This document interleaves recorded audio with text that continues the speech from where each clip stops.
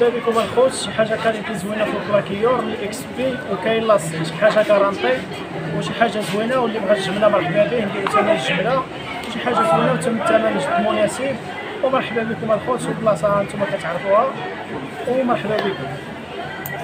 ديروا j'aime و abonner